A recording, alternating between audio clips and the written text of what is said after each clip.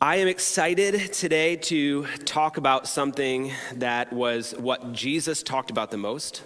It's the most referenced topic from Jesus in the entire uh, New Testament. All the stories written about Jesus is the kingdom of God. He talked about it more than anything else there is is the kingdom.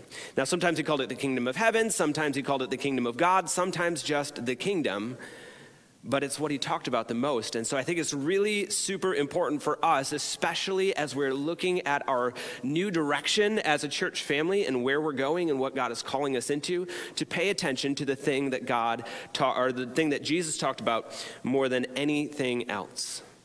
And it's not just the kingdom coming in us, but it's also the kingdom coming through us. So, over the next four weeks, we are going to be talking about the kingdom come. And we're going to be looking at the different words that Jesus said and the things he taught about the kingdom, but also what it looked like for Jesus to express the kingdom in his everyday life. Uh, my family has been doing our best.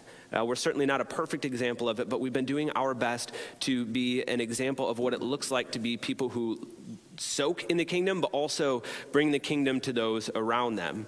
And uh, one of the ways we did that is we had a season of life where we were uh, particularly called to high school students from broken families. And so what we did is we welcomed them in around our table every, uh, I think it was Thursdays, and maybe it changed around a little bit, but every Thursday we would have them around our table for dinner. And then we would uh, say what we were thankful for just as an act of worship to God. We would just go around the table and we'd say, What are you thankful for? And sometimes that would take a little while, not only because maybe sometimes there would be 20 people around the table, but also because because if you've ever had a conversation with a high school student, sometimes that's a little scattered.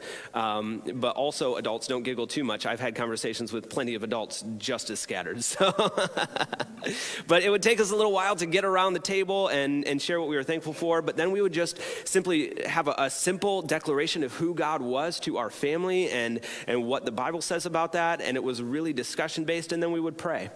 And our goal was to have just as many, if not more, people around our table who were not Christians than who were Christians. And it was important to us because we feel like, like God's whole mission to the world is to restore the world, and not just us who go to church, but those who are outside of the church, that nobody is outside of the blessing and the love and the experience of God. And so we would invite them around our table and we would share food. And for some of them, it was the first time or the only time, at least during the week, that they would get together with what felt like a family for a meal.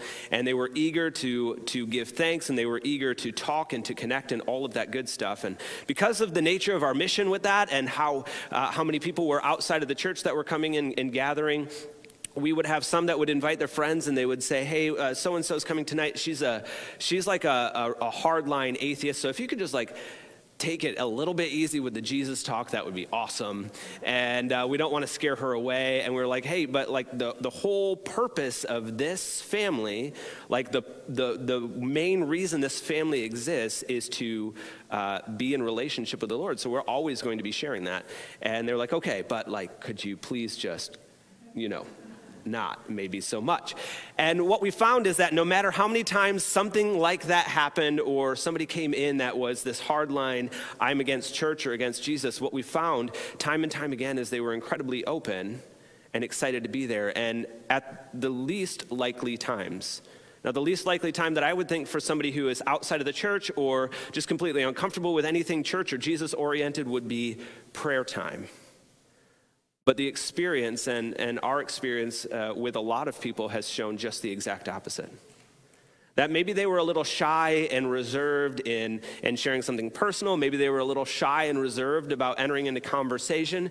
But prayer time, when prayer time came, those who were supposed to be the farthest from God were usually the first to enter in and receive prayer. Their hands would shoot up and say, I heard my friend's prayer got answered last week, so that's why I'm here this week. I'm here because I actually heard that God answers prayers here and just like crazy kinds of prayers, like the, the kind that shouldn't be answered, but they're being answered. And so I thought maybe you guys could pray for me. And we were just blown away. But we learned something in that as well is that there are generations, and not just the younger generation, but all the generations have something in common when it comes to our faith. Is that we don't want a faith that doesn't affect our day to day. We don't want a faith that doesn't affect the here and now. I think there was a season where the church allowed itself to be a passive passer on of information. But what we're finding is that doesn't work anymore. That there is more to it, and there always has been more to it. We just haven't always been good at the more. And now there are generations that are coming up that won't settle for less.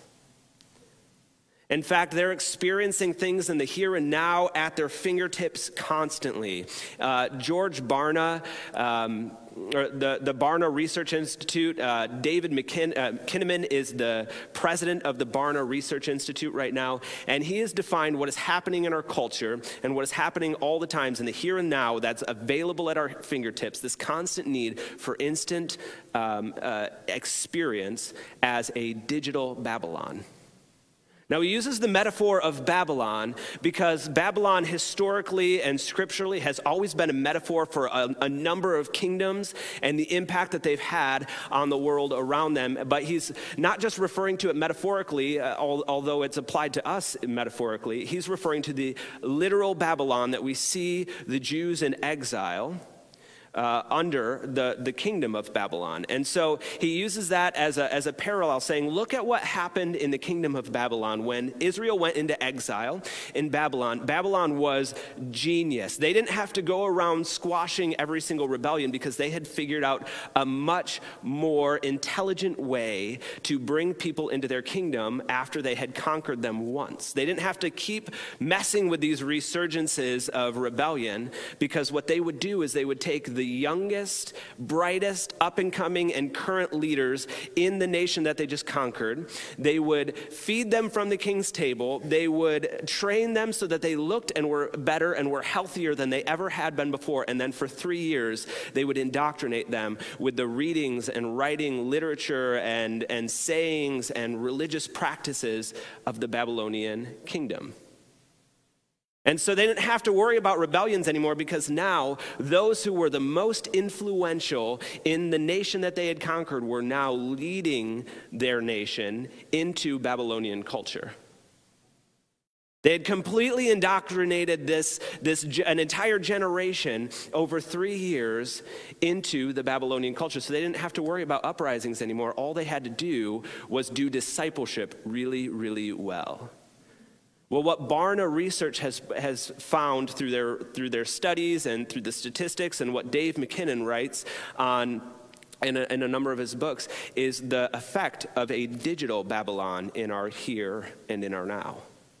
That these things that we carry around in our pockets, that are portable screens, that the screens that we have in our living rooms and all over the place. Um, we were watching the New York, uh, New York New Year's Eve ball drop because then we could go to bed at like 9:30, and it was a really wonderful way to do it. Normally we have to watch that uh, when we were in Michigan at midnight, and we had to stay up that late. But now it's like you guys have had it right all along. You get to watch the nine o'clock one. It's the legit one, not the Netflix one, and then you get to go to bed. That's brilliant. So anyway, like I was just watching that uh, New York, uh, the the downtown, everything's just covered in screens, and I, I, had been studying and reading about this digital Babylon. I was like, oh wow, it's everywhere.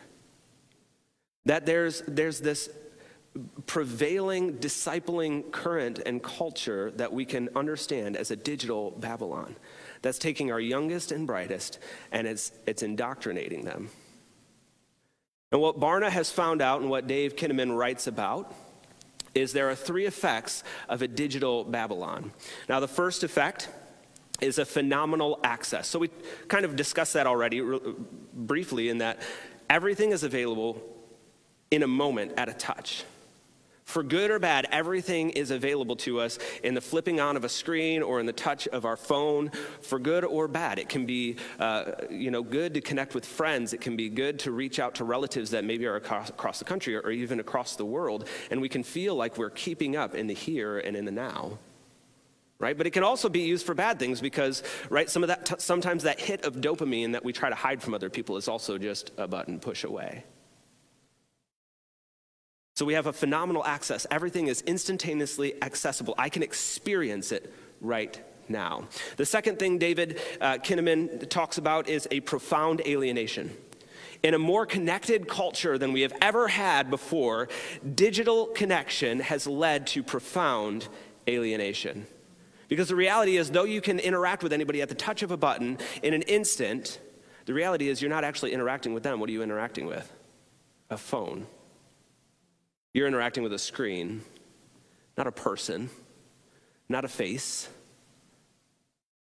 You're interacting with somebody's uh, persona that they put out on Instagram or Facebook or whatever, wherever you're going, that's what you're interacting with. And it, it gives the uh, appearance that we're actually connecting, but the reality is we're not. And what has led to, and you can look up statistics on mental health and all of that, has, has uh, been affected by a profound alienation. That in a, a world where we've never been connected more, we actually have never felt more alone. And the third thing that David Kinnaman points to is a crisis of authority. Do you know what happens when you have an entire internet in your pocket at all times? Janine hates this when, when we're in arguments. She's like, well, this is what I, like, this is the truth here. I'm like, oh, yeah, well, let's fact check that right now. Like, let's just Google it. But the problem is, like you Google something, and yeah, you can fact check anything you want, but then all sorts of things pull up, and so we have a crisis of authority within first the fact of what news source do I go to, what information source am I going to be pulling from, but then secondly, I now have an authority uh, crisis with those around me, because now I'm appealing to a screen every single time I'm appealing to digital Babylon, another kingdom, any single time that there's an argument. So the authority is no longer relational uh, from person to person. The, the authority is now what can I find online? And then amongst what I can find online, who is actually right? Anybody else been struggling with that? Like you find authoritative, seemingly authoritative things on both sides of an argument, and at the end of the day, it comes down to what do I think? Which one do I like better? What supports my argument more? I'm going to go with that. If a doctor wrote both, I'll go with that doctor because that's what I was already thinking. And so, more than ever, actually, the authority becomes me. And digital Babylon empowers me. And B- digital Babylon puts me on the throne once again. But it's having devastating effects. But this is the discipling current. We have a digital Babylon, and it is an incredibly effective kingdom. It's incredibly effective because what it comes down to is that there is every generation wants things impacting their life in the here and now, and this seems to impact us in the here and the now, and it does, but not in the way we thought it would. We're not getting out of it what we thought we could get out of it. Jesus was in a Babylon as well. Rome was considered a Babylon. It was a, uh, Babylon was an archetype, and Rome was an expression of the spirit of Babylon. And Jesus, in, in the midst of a virtual Babylon, stands up and he proclaims another kingdom. A kingdom that is more powerful and can drive back the darkness of Babylon. And I think if we pay attention to it, it can drive back our Babylon, whether it's digital or a Babylon in our hearts. The kingdom of God can do that. So we're going to take a look uh, at Matthew chapter 6, verses 9 through 13. If you've grown up in church, this may be a very, very familiar passage for you. And um, it's one that's familiar to me. I pray it all the time. It's the, it's the prayer that Jesus taught those who follow him to pray. It's the prayer that his closest followers, it's a pattern prayer that he taught them to pray. And um, so we're going to take a look at it because there's some really interesting things if we dive into it. It says this This then is how you should pray Our Father in heaven, hallowed be your name. Your kingdom come, your will be done on earth as it is in heaven. Give us today our daily bread, and forgive us our debts as we also have forgiven our debtors and lead us not into temptation, but deliver us from the evil one. So we have a lot of things going on. While this prayer is attributed to Jesus, what's interesting about it is the bits and pieces that we find in this prayer are not written by Jesus. They're actually compiled by Jesus. So, in that sense, in the compilation of it, it is unique to Jesus, but outside of that, it's actually not unique to Jesus. In fact, the first line comes from a regularly practiced Jewish prayer called the Kaddish. And the, in the original, it goes like this Exalted and hallowed be his great name. In the world that he created, according to his will, may he cause his kingdom to reign. That's what the Kaddish is. So, what Jesus does here is he actually just takes the Kaddish and puts it at the beginning of a prayer that is longer and made up of all different other bits and pieces of prayers that would be regularly prayed prayers in a Jewish household. But there is something different about this, and we're going to get to that in a second. So, first, what happens is, is, Jesus is praying, and he, he starts by praying the Kaddish, and it starts with Our Father in heaven, hallowed be your name. Now, when I hear this regularly talked about, I hear this is the beginning of the Jesus prayer, the beginning of the Lord's prayer, and it really just starts with worship, right? It's Jesus worshiping the Father. Well, it includes that, but that's actually not what's happening here. That's at least not what Jesus' hearers would have understood, and it's not historically what Jews would have understood either. In fact, what Jesus is saying here, and what Jews had been practicing in their prayer for quite some time in Our Father in heaven, hallowed be your name, is this understanding. What they're doing is they're asking for a revelation of God. Oh, it absolutely includes worship right? When God is revealed, when His holiness is revealed, hallowed be your name is about the holiness of God. It would actually lead to worship, but what the Jewish people had been doing for years and years and years, and what Jesus echoes here, is a begging a pleading for the revelation of the holiness of God, that God would show up in our reality, that Yahweh, the creator of the universe, would reveal himself and prove himself to be holy. So when we pray, when we hear Jesus pray this prayer, uh, Father in heaven, hallowed be your name, what he's saying is, Yahweh, reveal your holiness, reveal yourself. Now, that does lead us to worship, but worship is not the primary function of this. It's asking for the inbreaking of the Creator God into our reality in the here and in the now so that nobody can contest it. And when we understand the prayer that way, it actually sets everything up just a little bit differently. If we move on and we talk about your kingdom come, your will be done on earth as it is in heaven. Now, when we think about a kingdom, and, and, the word used here is translated into English as kingdom. We would understand it as like a geographical boundaried area. We think about it historically, maybe with walls and gates, and uh, and you know those little high up places that the archers would shoot down, and maybe holes through the, the the stone and stuff like that. Like that's what comes to mind when I think of a kingdom as knights and King Arthur and all of that good stuff.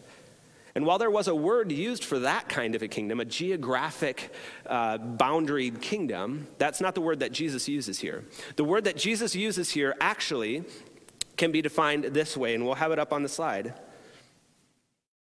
The uh, revealed kingdom is actually going to be understood as um, the kingship, the dominion, the rule, royal power, and it's not to be confused with the actual kingdom, not the, the geographic boundaried kingdom, but rather the right or authority to rule over a kingdom.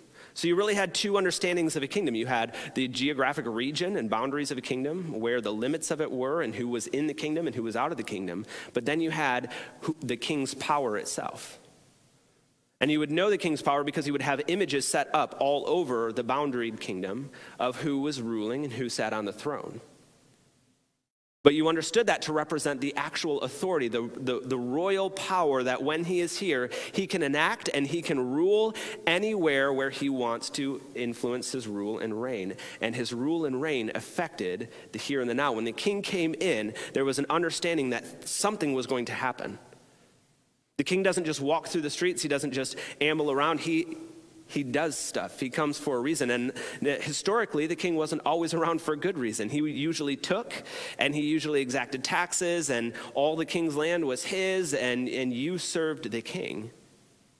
But Jesus is setting up a different type of a kingship. In fact, everything that we see that follows in this passage that is made up of bits and pieces of other prayers is all about what it looks like when God is revealed, when Yahweh proves his holiness, is breaking into our here and now, and we ask for God's rule and reign in our here and now. That's what Jesus is setting up. God, reveal yourself to us in our daily, everyday, mundane activities. Prove your holiness and allow your rule and reign, your authority to rule, your royal power to enter into our here and now on earth, just as it is in heaven, uncontested, benevolent, as things are in heaven where you dwell, may it be here on earth where I dwell. An uncontested power and an uncontested ruling and reigning in our here and in our now. So we take a look at what that looks like as we follow along in the prayer. So Yahweh breaks in, his holiness is proved. We ask for his rule and reign, his authority, his power to rule and reign to come on earth as it is in heaven. And what does that look like? The rest of the prayer reveals it to us. We're going to walk through it a little bit quickly. Give us today our daily bread. So, in God's kingdom, when, when Yahweh is revealed and His holiness is revealed to us, and the rule and reign of God is exercised on earth as it is in heaven, the first thing that happens is the kingdom and those in it have what they need. They're provided for by the king. So Jesus is, is, you know, using the examples of kingship everywhere else, and they would have understood that as a king taking. But in, in this kingdom, when God shows up and when Jesus is, is over all and he rules and reigns, what that actually means is you don't provide for me, the king provides for you. The king doesn't take, he doesn't exact, he doesn't, he doesn't rule in that way through, through manipulating. He actually uses his rule and reign to serve you and to provide, to meet your needs. In the kingdom, there, aren't a, a, a, there isn't a fat and fed king and hungry and impoverished citizens. There is a king who pours himself out, and there are well fed and well cared for and people who have everything they need. And it is a beautiful, beautiful picture. This goes beyond just having what we need to eat and to wear, but it also goes to the emotional level that what Jesus is talking about is when the kingdom breaks in and Jesus is exercising his rule and reign, you have what you need emotionally. You have what you need socially. You have what you need physically. All of these realms of who we are are satisfied in the kingdom of God when his rule and reign breaks into our here and our now. And I want to say that this last week, we as a family, I have just, I have been so impressed with you, oh, more than over this last week. We've had a couple of people who have tested positive for COVID lately. Uh, we've had people that have been going through surgery. And each time something like this happens, I have seen you guys rise up and I have seen the provision of God come through your hands. You have fed people. I can't tell you how many times over the last couple weeks I've seen a meal train come up because somebody is sick and say, Hey, I've got this week, I've got this day, I've got this day. Well, I'm doing lunch, I'm dropping them off a quiche, I'm doing this. It's beautiful. That is what the kingdom of God looks like that when there is a need, the power of God moves the hearts of people to meet that need. God has always extended his rule and reign through people. And we're going to be talking more about that over the coming weeks. But God has always extended the rule, his rule and reign, his authority, his uh, exercise of his power through people.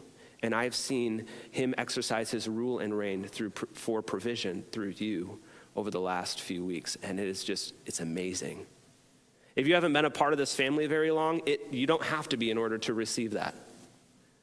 Some of the people we've seen have only been around for a few weeks and they have already been uh, experiencing the love of God pouring out because that's what God is doing in this people. I believe that this is a family, this is a spiritual family that is being filled up and will continue to be filled up with the presence and the kingdom of God. So just thank you for that. But that's what the provision of God looks like. We move on. And forgive us our debts as we have also if we, as we also have forgiven our debtors. So in the kingdom, uh, there, it's not just, it's not just uh, uh, punish for the wrongs. This is a kingdom of forgiveness. You see, in Babylon, in digital Babylon, if you pay attention, somebody can do something that's wrong. They can make a mistake or act out of their brokenness or do something they legitimately knew to be wrong. And it seems like decades, if ever, that there is forgiveness extended. Now, you can watch anybody who is of celebrity status fall from grace, and they almost never get back out of that, do they? Their life is ruined, their career is ruined, everything falls apart because we, in digital Babylon, we hold grudges.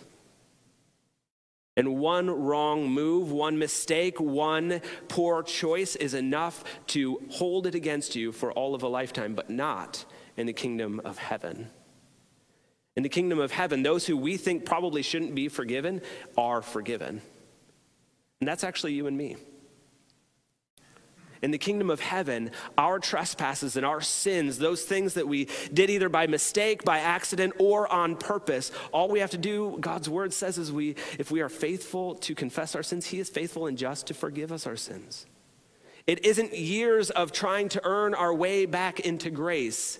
It is a simple fixing of broken relationship between us and the Father or us and between one another just simply by confessing our sins. That's what it looks like in this kingdom. But forgiveness doesn't just come to us, it also comes through us in the kingdom, that we are reconcilers and those who make others' broken relationships right. We receive forgiveness, but we also extend forgiveness. This happens in the kingdom, and it is in direct opposition to every other kingdom of darkness and every other archetypal Babylon. He concludes with, and lead us not into temptation, but deliver us from the evil one. In the kingdom of heaven, there is protection, not just from bodily harm. We see it all throughout Israel's history. We can see that whenever they were going into battle and God was calling them into battle, He would protect them and He would fight for them. He would go before them. He doesn't just do that for them in that kingdom, He does that for us in His kingdom now. And so we see when we invite the kingdom to come on earth as it is in heaven, in our here and now, everyday reality, that we have protection and we have deliverance, not just in physical things, we also have those in spiritual things. The Bible says that the enemy uh, prowls roaring like a lion, that the thief comes only to steal and kill and destroy, but Jesus came that we might have life and have it to the full. And that life starts now. You see, here's the reality that we see in this prayer from Jesus is that the rule and reign of God affects our here and our now. Our, the rule and reign of God affects our here and our now. It also looks to the future. It looks to the future because if we stop and we just look at affecting only the here and the now, we start to think about, well, well, what about all of the sickness that's currently around us? If God's kingdom is here and now, how come things aren't just fixed? How come there's still brokenness? How come there's still pain? How come there's still death? Why do people still break into cars? Why do still people uh, people still struggle with addiction? Why are families still split apart? If the kingdom effects are here and the now, what is going on? Well, the reality is there is also a future. There is also a future reality.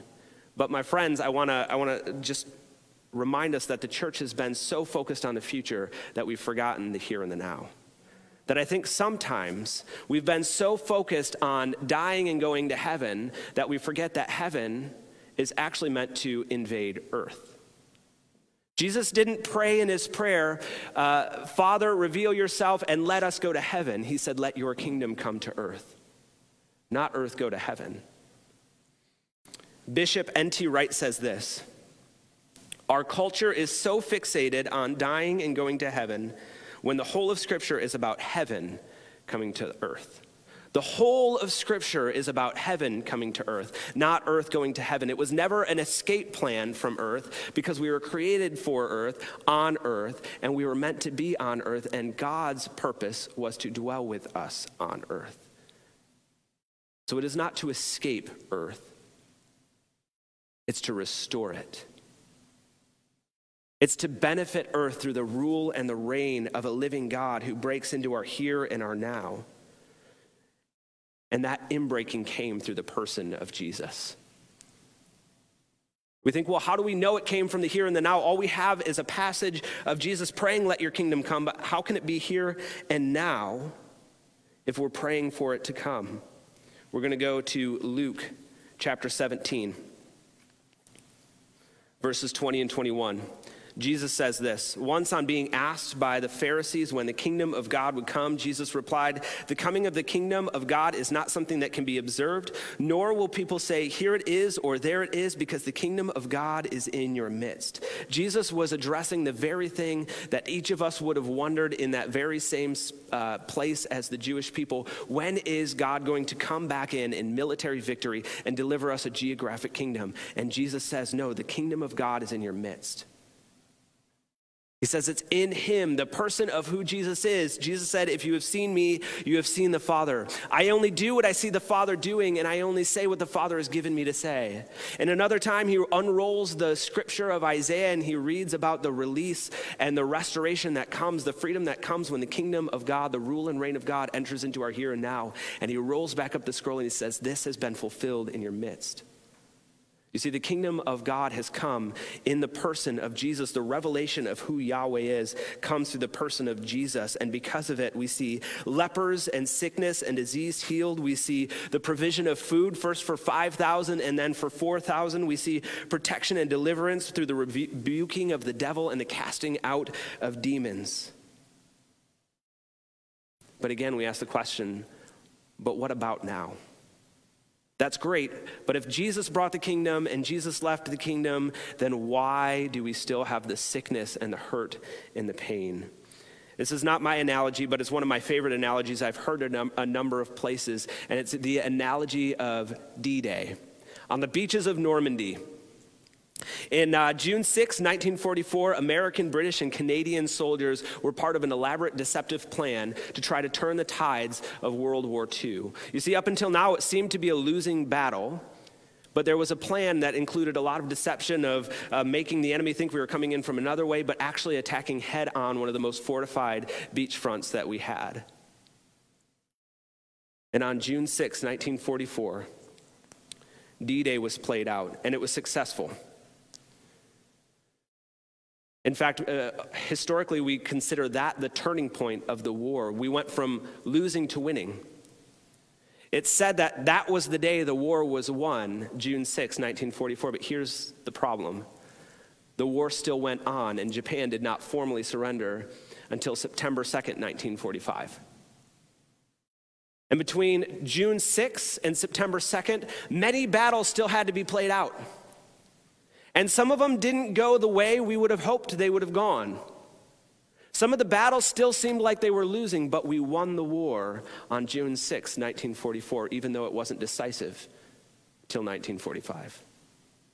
The coming of the kingdom is like the tension between June 6 and September 2nd. That it came and it, and it conquered and victory could be declared, but there are still battles to be played out. There are still tensions that will be had, that the kingdom is here now, but one day it will be a decisive and formal surrender of the enemy. And until that day, we still have to walk through battles. Until that day, we still have to be a people who are able to live in the tension that the kingdom, the rule and reign of God is here and now, but also not yet. That one day there will be a decisive and a formal undeniable victory where Jesus returns and all things will be made right. But until then, it is up to us in the power of the Spirit to walk out in the tension that the kingdom is here now and not yet. That means that we are sometimes not going to see the things happen that we want to see happen. Sometimes we won't see the healings happen that we think should happen. Sometimes those prayers won't be answered, but if we don't, if we aren't careful, we won't realize that there is probably more available to us in the here and now than we will ever press into. There is more kingdom available to us in the here and now than we will ever take advantage of. There is more ability for heaven to break into earth if we are willing and if we are willing to be filled up with the presence of God than we can ever possibly know. And that's available to you and you and me. And we need people. The world, a digital Babylon, needs people who are willing to live in the tension between the here, now, and the not yet. Because there are eh, eh, there are so many people who are just waiting for an experience of God to break into their here and now. Digital Babylon brings with it Digital Babylon brings with it a phenomenal access, but we forget the phenomenal access that we have to God in the here and the now. Digital Babylon brings in a profound alienation, but God reconnects broken relationships and gives us a greater connectivity to one another than we could ever have in any other kingdom. Babylon brings with it a crisis of authority, but in the kingdom of heaven, it is clear who is ruling and reigning, and his power goes uncontested. We have a greater kingdom available to us. We have a greater experience of God that we can offer the world that they are looking for, but don't have the words for. They're trying to fill it, and sometimes we try to fill it with other things that we just don't have words for, and we're looking for what we're looking for is we're looking for the rule and reign of God, but oftentimes we go to other things. In fact, the great theologian Johnny Cash said it this way I have tried drugs and a little of everything else. And there is nothing in the world more soul satisfying than having the kingdom of God building inside you and growing. Thank you, Johnny Cash.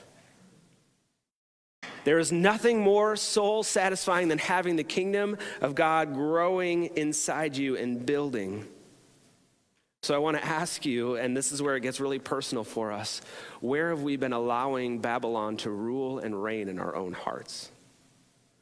Where have we been looking for this instant access to a kingdom when, when we were really looking for the rule and reign of God, but we've, we've settled for a kingdom of darkness? Where have we been running or escaping or numbing and trying to get the effects of the kingdom of God in the here and now when all the time it was available to us in the person of Jesus? That's the reality of the kingdom of light that is available to us. I want to ask you to reflect on that with me this next week, and I want to invite you into praying a really simple prayer. We're going to be doing our 21 days of prayer and fasting. In addition to that, I would like you to be praying this prayer just reflectively. It requires time set aside, it requires dedication just to, to lay aside a few moments and just to pray this prayer because what the world, you and I, and the world needs more than ever is somebody who is willing to go first and to, uh, to have an experience in the kingdom of God under the authority and rule and reign of God. So that we can give it to others. And I want to ask you just to desperately pray this prayer, just as Jesus prayed it. And I want us to be a people who pray, let your kingdom come in, and then you can just fill in the blank. And here's how I personally pray it Lord, let your kingdom come in my life, in my heart, as it is in heaven. Let your rule and reign, your uncontested rule and reign, let it touch my heart. And then I extend it and I say, Lord, let your kingdom come in my family. Maybe that's your spouse or your kids or your grandkids or your parents or those around you that you consider to be family. Let your kingdom come in my family. Let it touch their hearts. Let it dispel any sense of Babylon at all. Lord, let your kingdom come in my friendships. Lord, let your kingdom come in my, the lives of my coworkers and in my city, in my neighborhood. Let your kingdom come. We need to be a people who desperately cry out for the coming of the kingdom that we may see an outpouring of the Spirit of God. One that is tangible, that affects our everyday reality, one that actually changes things. Not just principles and things we've learned to recite, but actual change. Not just had knowledge, but experienced life living that we can pass on to other people and that we ourselves receive. We have a God with the authority to change lives. We have a God that has the ability and the, the royal power to make a change in our everyday, in the darkness of our neighborhoods. I don't know about you, but there's times that I just pay attention to what's going on in Yakima and it can feel like a very, very dark place. We have a God that when we allow Him to, will push back the very present darkness in Yakima. We have a God with the, who rules and reigns with the authority to push the darkness back first in our own hearts.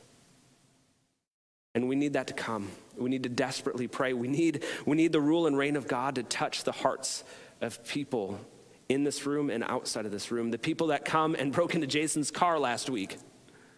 We need the rule and reign of God to touch the hearts of the girls who gather behind our building to smoke pot. We need the kingdom of God to come in and touch the, the hearts of those who are experiencing and hiding the broken relationships in their own marriage. You see, when we allow the kingdom to come, things will actually change. I truly believe that we will see a statistical difference in the crime in our own neighborhoods when we invite the kingdom to come first in us, but it takes you and I going first. Can we do that? All right, let's do that. Let's pray.